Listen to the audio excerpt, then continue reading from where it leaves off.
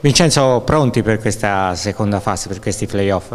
Sì, inizia un mini campionato, un, eh, un, altro torneo a parte, come lo si vuole chiamare, e, e credo che, che, la squadra ci arrivi con eh, la giusta condizione sia fisica che, che mentale.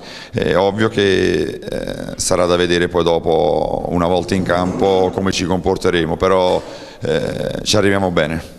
Che cosa ti preoccupa di più di questa Venezia? Come state preparando questi playoff da un punto di vista tecnico?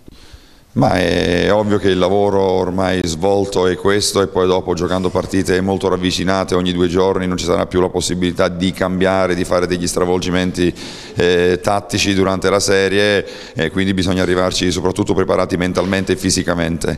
E, e sappiamo che andiamo a giocare una partita, eh, una serie contro una squadra che insieme a Milano è forse quella che ha eh, due squadre, eh, ha 14 giocatori veramente arruolabili, due giocatori a turno dovranno, dovranno rimanere fuori quindi partiamo eh, probabilmente, anzi sicuramente da sfavoriti, eh, però non eh, andiamo a fare le vittime sacrificali di, di nessuno, giocheremo una partita alla volta e, e poi vediamo come andranno le cose. Secondo te quale potrebbe essere la chiave di questa serie?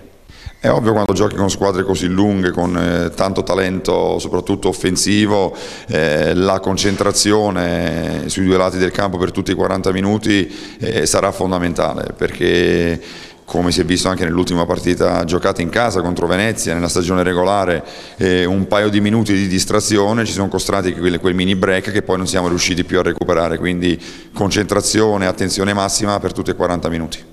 Venezia è uno squadrone, secondo in classifica, ma Pistoia è il miglior allenatore della stagione. Sì, però io credo che è importante più il riconoscimento individuale mio, il lavoro dei, dei, dei ragazzi che hanno fatto durante l'anno e il, il, lavoro anche del, dello, dello, staff tecnico. Eh, questo è un gruppo di, di 15-16 persone che praticamente lavora in settimana sul campo e sarà lo stesso che andrà eh, a giocare a Venezia con la stessa mentalità e con eh, la giusta determinazione senza guardare ai riconoscimenti, ai, eh, ai pregi e difetti, ma giocare giocando e lottando una partita alla volta.